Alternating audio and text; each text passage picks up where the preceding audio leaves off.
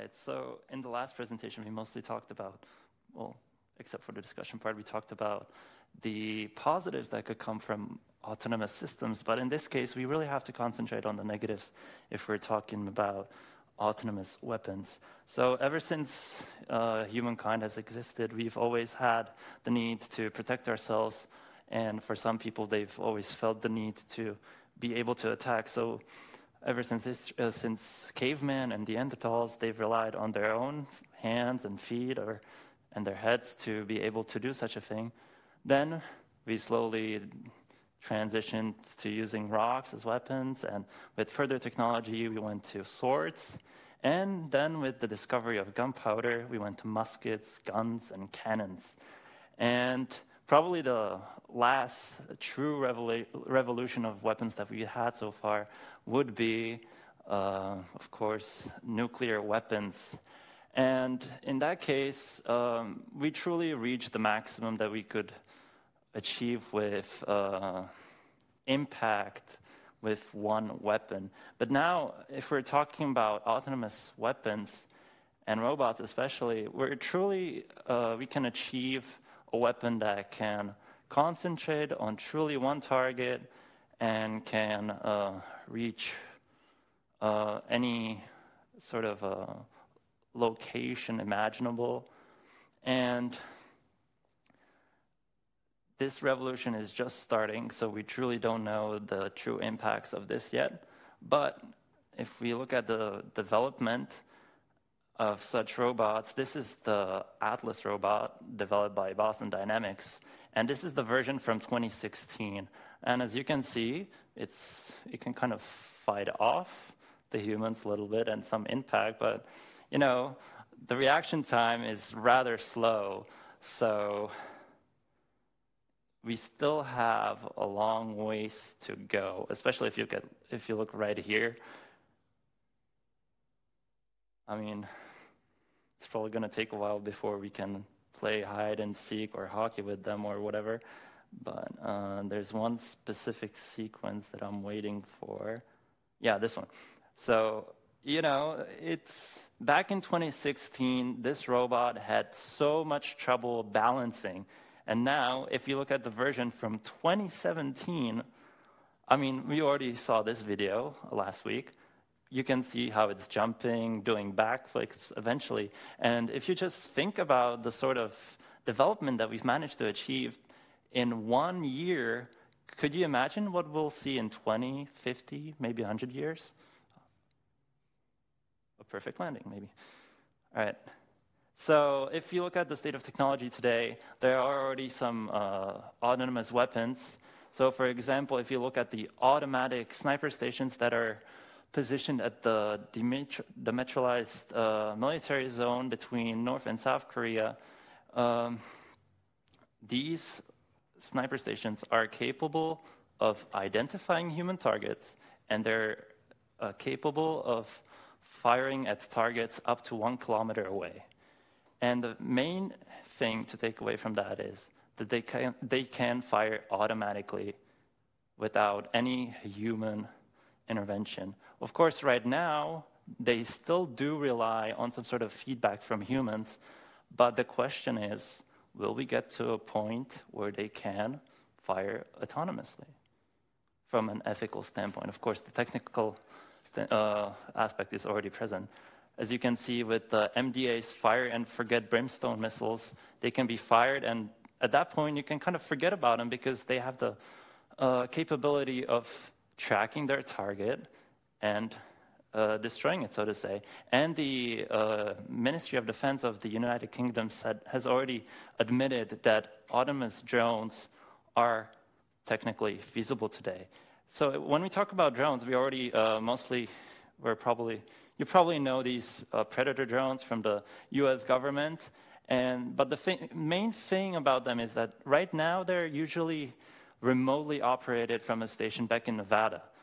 But if we look at uh, some recent developments, such as this drone being intercepted by Iran thanks to electromagnetic jamming, you really have to reconsider especially if you're the government and if you're investing so much money into this, you'll probably need to make them autonomous because you can, thanks to hacking and also the technological process of your enemies, you could easily change the GPS, you could hack it, and also if you're talking about the technical standpoint, you know, it's not perfect, you could lose a signal, the connections are sometimes slow, especially if you're talking about connections between two sides of the world, and then you have short decision, and sometimes you need short decision times. So if, if we were to rely on humans to send a signal to actually do something, it could be too late. So the need for autonomy, if, if you're really uh, for wars and fighting or whatever, then I guess it's right here. So when we're talking about lethal autonomy, then we're talking about the ability of a machine to hunt, identify, and kill human targets based on software calculations in unscripted environments. That's a fancy definition. All right, so uh, of course there are going to be some supporters that are going to um, talk about the benefits of such autonomous systems. And the main thing in theory, is that it would limit the danger for soldiers. You could save lives, theoretically, of course, because, you know, of course, if you send more autonomous weapons and robots to fight, then you could potentially kill more people than you would save. And then, of course, for the military, when we're talking about the advantages of it, then you have the um, efficiency that it can compute faster, I mean, and since we're talking about computers, they probably wouldn't slow down due to fatigue. They wouldn't feel any emotions. I mean, they wouldn't kill somebody just to kill somebody because they would they would be in the mood to kill somebody. And um, you could nowadays the main use of robots is to usually de- deploy them in dangerous situations where you probably know that there's a bomb or some sort of a mine, and you would send them there to blow it up to make sure that no human would actually be the one in charge of such a dangerous mission. And of course, if you're truly care, if you care about the economic impact more than anything, then uh, the advantage of robots is obviously clear because the cost of keeping one robot in the long term is beneficial. And then, uh, if we're talking about, and I think I mentioned this already, uh, when we're talking about emotions, robots wouldn't have emotions. So, and since they wouldn't have to be worried about keeping themselves alive, they probably wouldn't theoretically necessarily kill their enemy or adversary to, to protect their own lives they could probably just like, you know, tase them or electrocute them or something like that. So, in a way, that could be a potential advantage of such systems. And then, uh, yeah, judgments would not be influenced by emotions. And if you also care about the soldiers, uh, there would be no post traumatic uh, stress syndrome or anything. So, we saw the benefits, and you know what could go wrong. We all know what could go wrong if we're talking about killer robots. We could just look at the movie Terminator and see the uprising of killer robots. So that's why we have the campaign to stop killer robots. And this is a campaign led by various scientists, non governmental organizations to ban the, not just the use, but also the development of such systems. And if you look at the aim of the campaign, uh, the main point of the campaign is to make sure that there's always a human involved in the decision making of the robot. And then uh, when we're talking about laws and regulations, uh, they would like a pr- comprehensive preemptive prohibition of the development, production, and use of fully autonomous weapons yeah, uh, yeah. Uh, so we're talking about international treaties, national laws, and other measures. And, uh, and it would also like transparency from different nations, you, mostly the ones that are developing such systems, because what if your government is developing a killer robot? Wouldn't you like to know that? All right, so let's look further at some possible problems, starting with the arms race. So, uh, due to the age that we're living in, where technology is readily available and it's very advanced, uh, governments are pretty much very close to developing such killer robots and such weapons. So, especially if we're looking at countries like the United States, China, Israel, South Korea, and Russia, and the UK, um, who knows how many years it could take before they can develop such weapons? Maybe they're already there and we don't know about it.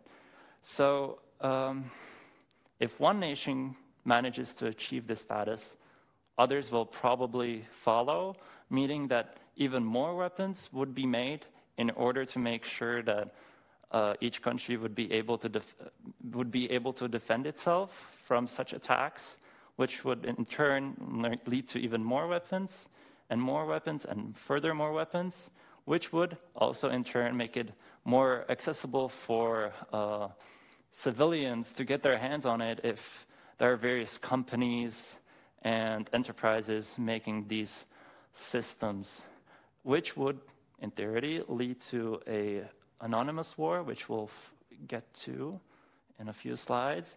And then, um, starting with more of the ethical side of this issue, we're talking about the accountability gap. So the main question would be who would be held responsible for actions that a robot or an autonomous system would make? Would it be the manufacturer, the software provider, the owner, or would it be the government? And if you're starting to ask, who would it be? The most likely answer at this point would be no one, because unless there's some sort of a treaty or some sort of a law to truly dictate who it is, I mean, you can't blame the robot. I mean, what, what, what could you do to it? You can't send it to jail. So, all right. And now we come to the moral issues because robots, at this point at least, do not possess the ability to uh, have moral judgment. So if we're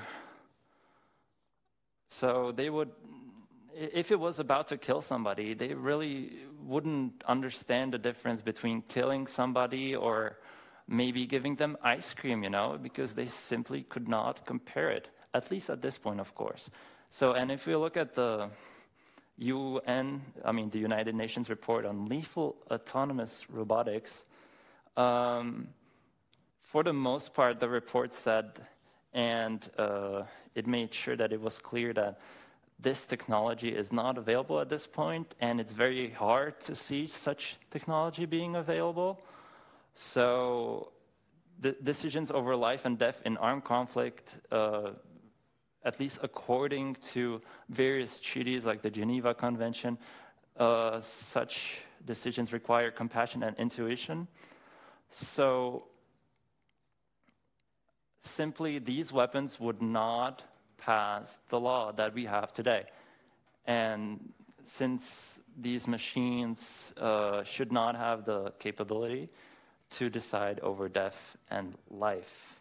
Now, if we look at the counter arguments from the proponents of such systems, uh, they would most likely say, well, the technology might not be available right now, but what if it is in a few years?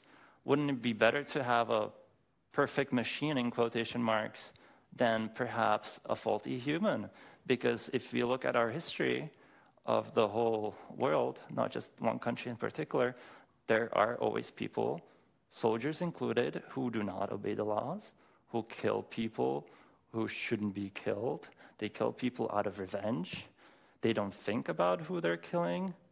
And um, and also, if you'll go back to the emotional aspect and the fatigue aspect, um, and also how humans try to protect their own life, wouldn't it be better to just have these robots? And if we're talking about the accountability again, then if this machine is perfect, anyways, who would, what sort of accountability would there be, anyways, right? So, but the counter counter argument would be that uh, morality cannot be captured by a set of instructions, and this view has already been held since ancient Greece by Socrates, and And also, uh, another argument is that robots will never fight for the right reason, in quotation marks, because they will not, uh, most likely, again, understand the point of the war that they're fighting, anyways. And uh, in most cases, yes, we do machines, uh, we do use machines such as, you know, bullets, missiles to fight war, but there's always a human element behind it. So it's important to make sure it stays this way. And then another problem that could arise would be that autonomous weapons would make the decision to go to war a lot easier because if you're not sending human lives, you wouldn't have to convince anybody politically that lives are being wasted unnecessarily.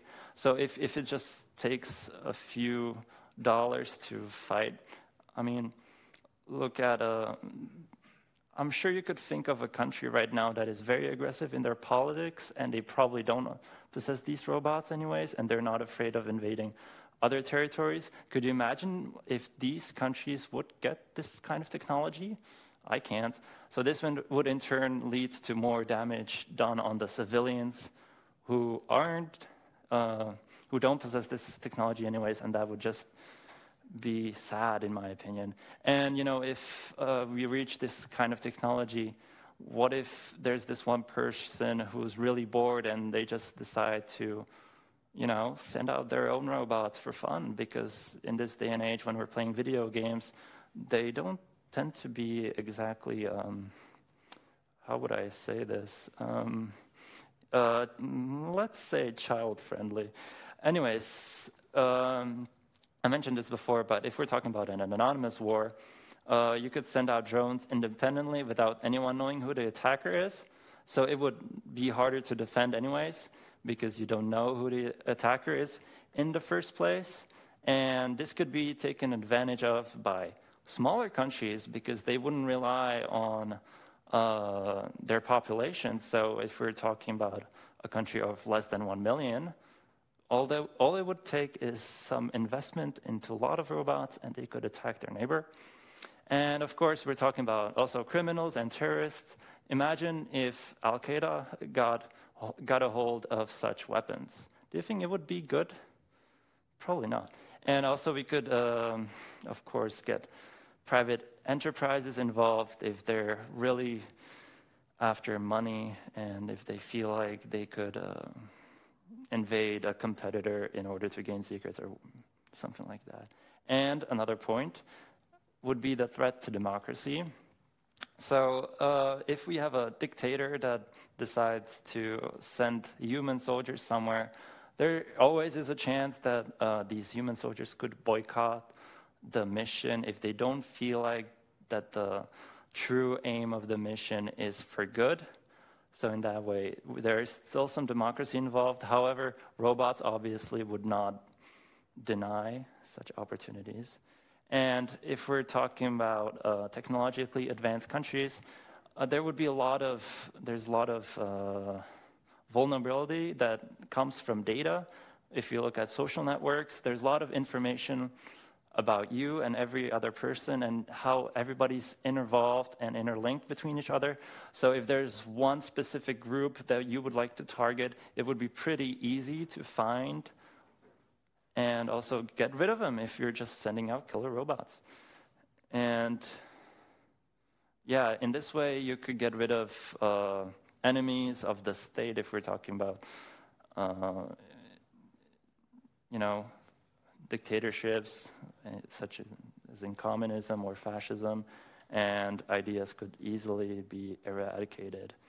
That's why there's an open letter that has been signed by some notable people, people like Stephen Hawking, Elon Musk, Steve Wozniak, Noam Chomsky, that oppose uh, the use of AI to make these sort of decisions because they do see the potential in AI, but they also see the sort of trouble it could bring. So they want to make sure there's always a human element involved.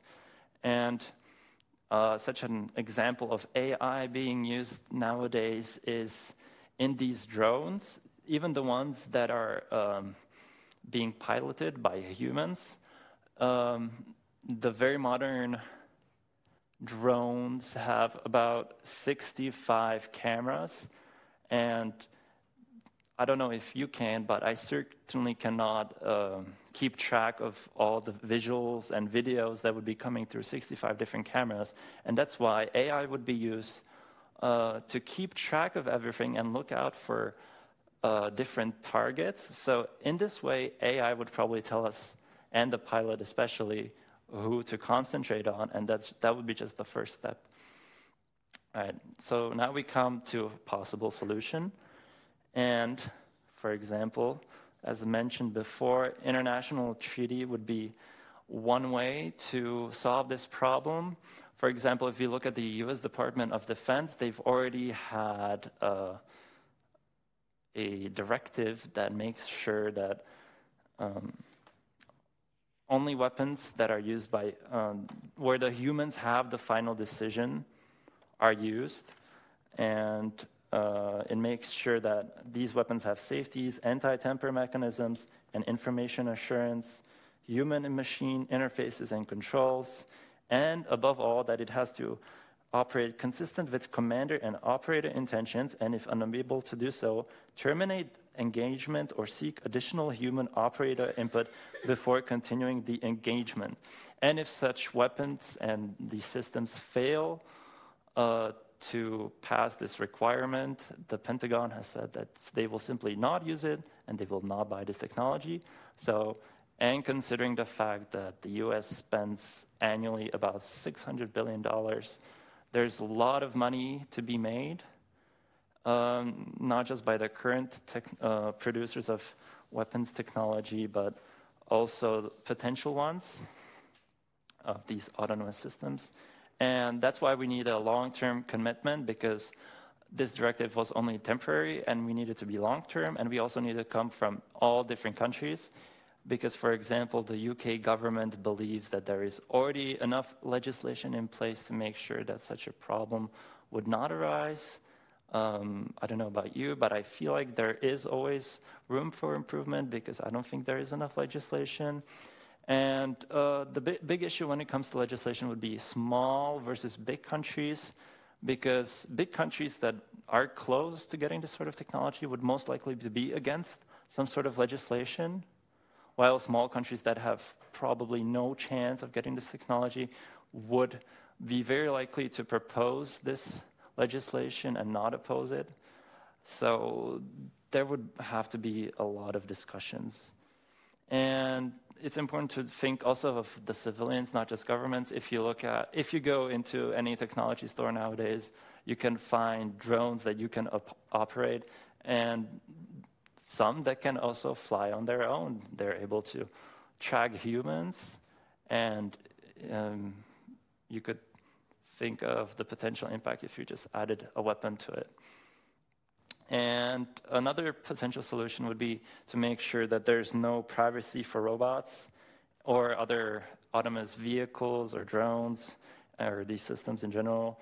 And one way to do it would be to make sure that they have an ID sort of similar to how cars have license plates at the end and the front.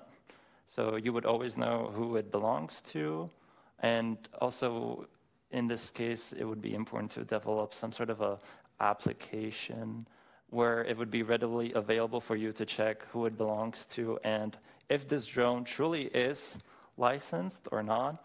And if you find that it isn't, that you could um, call the police and have them take care of the drone. So, yeah. And uh, if you're still not convinced, uh, one of the main likely objections to banning killer robots would be they will be better at killing, which I don't know. I feel like that's the point of the legislation, anyways, because we do not want to kill more people. At least I don't. And uh, and if we think about evolution, if one weapon, if if a new type of weapon becomes available, it's only a matter of time before it gets into the hands of many other people and before uh, it's developed further. So in this case, I think it's important to make uh, to take care of this issue now when we still have the chance. And robots will be more ethical at killing, will follow rules of war, more likely to distinguish between civilian and combatant. Uh, nowadays, it's easy to strike this down as a naive belief before, because we're still far away from that. But especially because the complex vision systems that such robots would need to have in order to uh, distinguish between a criminal or a civilian, uh, a grandma or a terrorist, it's, it's decades away. And also, any uh, technology can be hacked, as mentioned before. So, so if terrorists got their hands on it, they could make sure that this robot would not uh, be very ethical. And then robots can simply fight robots. Um, at this point, there isn't a designated battlefield part of this world yet, so it's hard to say like where would you have them fight? Maybe in space, but we're still far away from that.